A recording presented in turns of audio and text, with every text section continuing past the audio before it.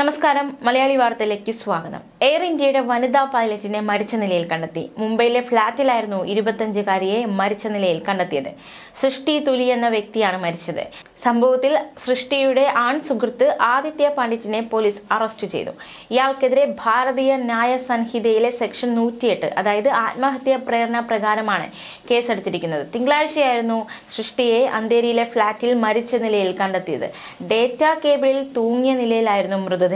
സംഭവ സ്ഥലത്ത് നിന്ന് ആത്മഹത്യാക്കുറിപ്പ് കണ്ടെത്തിയിട്ടില്ല. യുവതിയുടെ വീട്ടുകാരുടെ പരാതിയുടെ അടിസ്ഥാനത്തിലാണ് കാമുകനെ കസ്റ്റഡിയിലെടുത്തത്. ആദിത്യ പണ്ഡിറ്റ് പരസ്യമായി അപമാനിച്ചു ഉപദ്രവിച്ചു എന്നതടക്കമുള്ള ആരോപണങ്ങൾ സൃഷ്ടി ഉന്നയിച്ചിരുന്നു. അല്ലെങ്കിൽ അത്തരത്തിലുള്ള കാര്യങ്ങളൊക്കെ സൃഷ്ടി പറഞ്ഞിരുന്നു എന്നാണ് സൃഷ്ടിയുടെ അമ്മാവൻ പരാതിയിൽ ഉന്നയിച്ചിരിക്കുന്നത്. സസ്യ ആഹാരിയായിരുന്നു സൃഷ്ടി.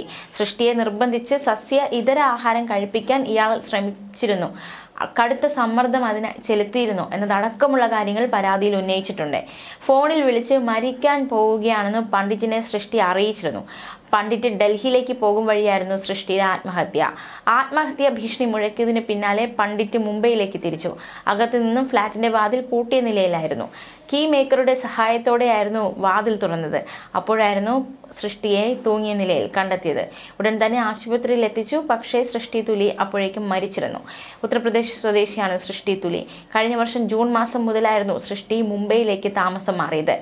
രണ്ടു വർഷം മുമ്പ് ഡൽഹിയിൽ കൊമേഴ്സ്യൽ പൈലറ്റ് കോഴ്സ് പഠിക്കുന്നതിനിടെയാണ് പണ്ഡിറ്റിനെ പരിചയപ്പെടുന്നത്. എന്തായാലും ഇയാൾ ഇപ്പോൾ അറസ്റ്റിലായിരിക്കുകയാണ്. ഇയാൾക്കെതിരെ ആത്മഹത്യാ പ്രേരണ കുറ്റം ചുമത്തിയിട്ടുണ്ട്.